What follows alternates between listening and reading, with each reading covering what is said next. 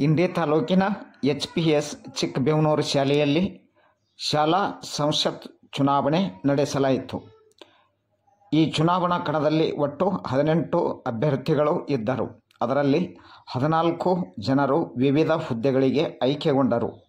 ವಿಶೇಷವಾಗಿ ವಿದ್ಯಾಶ್ರೀ ಮಸಳಿ, ಅತ್ಯಧಿಕ ಮತಗಳಿಂದ ಜಯಶಾಲಿಯಾಗಿ ಶಾಲೆಯ ಪ್ರಧಾನಮಂತ್ರಿ ಹುದ್ದೆಯನ್ನು ಅಲಂಕರಿಸಿದಳು.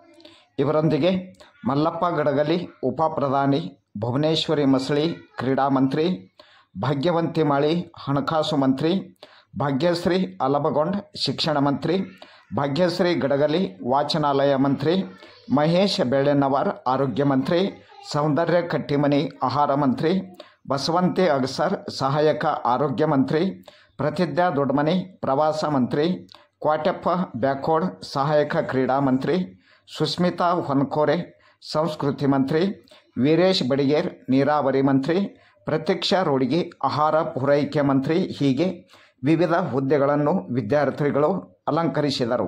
ಈ ಸಂದರ್ಭದಲ್ಲಿ ಚುನಾವಣಾ ಅಧಿಕಾರಿಗಳಾಗಿ Sarojini Mavinamara, R M Mujawar, A G Anegundi, K R Avati, ಅತಿಥಿ ಶಿಕ್ಷಕರಾದ ಮಲ್ಲಿಕಾರ್ಜುನ ತಳವಾರ್, ದ್ರಾಕ್ಷಾಯಣಿ ಕೋಳಿ ತಮ್ಮ ತಮ್ಮ ಕರ್ತವ್ಯಗಳನ್ನು ನಿರ್ವಹಿಸಿದರು. ಚುನಾವಣಾ ಮೇಲ್ವಿಚಾರಣಾ ಅಧಿಕಾರಿಗಳಾಗಿ ಶಾಲೆಯ ಪ್ರಭಾರಿ ಮುಖ್ಯ ಗುರುಗಳಾದ ಬಿ ಎಂ ಜಮಾದಾರ್ ಮುಖ್ಯ ಗುರುಗಳು ನೆರವೇರಿಸಿದರು. ಒಟ್ಟಿನಲ್ಲಿ ಸುಸೂತ್ರವಾಗಿ ನಡೆಸಿ ಫಲಿತಾಂಶವನ್ನು ಘೋಷಿಸಲಾಯಿತು.